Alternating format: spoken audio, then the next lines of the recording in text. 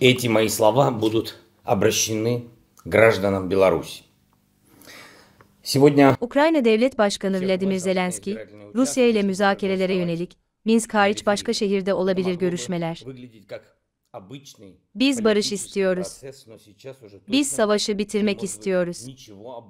Varşova, Bratislava, Budapeşte, İstanbul, Bakü bunların hepsini teklif ettik dedi.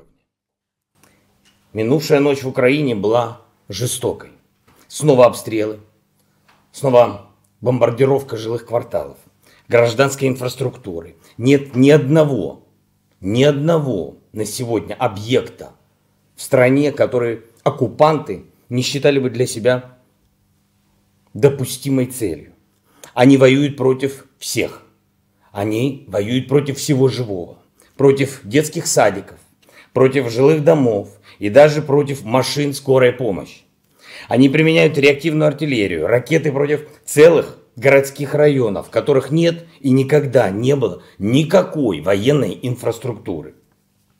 Васильков, Киев, Чернигов, Сумы, Харьков, многие другие города Украины выживают в таких условиях, которые последний раз были на нашей и на вашей земле во время Второй мировой войны.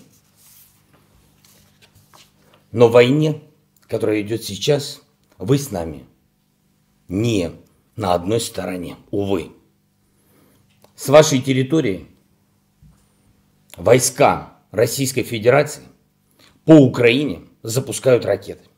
С вашей территории убивают наших детей, разрушают наши дома, пытаются взорвать все, что было построено за десятилетия.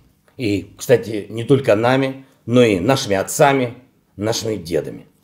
И все это тоже де-факто референдум для вас, белорусы.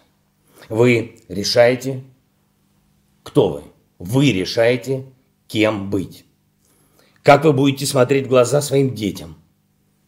Как вы будете смотреть в глаза друг другу. Своим соседям.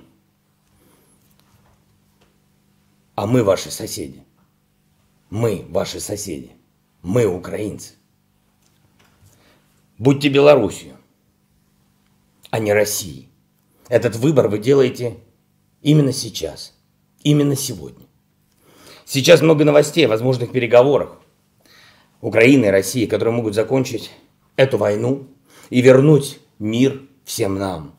И в них часто упоминают вашу столицу, Минск, как площадку для этих переговоров. Площадку, которую выбирали не мы. И на самом деле не вы, а выбирало руководство России.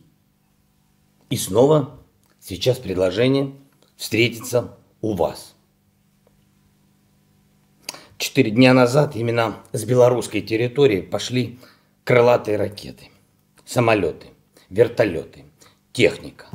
Били по нашим домам, били по нашим жизням. Пошла тяжелая техника. И это страшное дежавю. Вы знаете, Киев атаковали в 4 утра.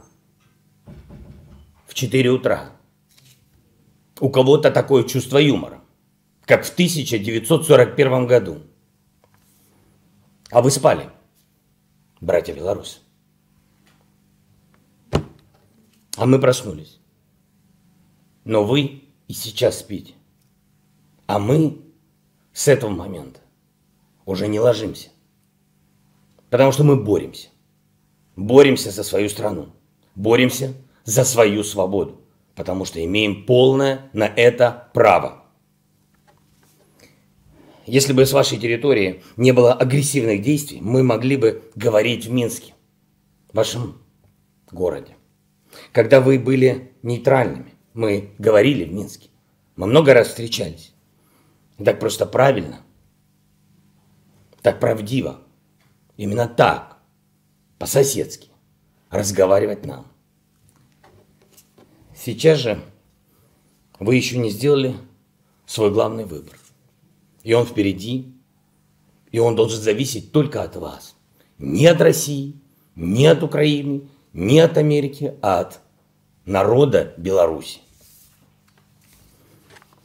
Именно поэтому сейчас мы говорим не Минск. Площадкой могут быть другие города для встречи. Конечно же, мы хотим мира.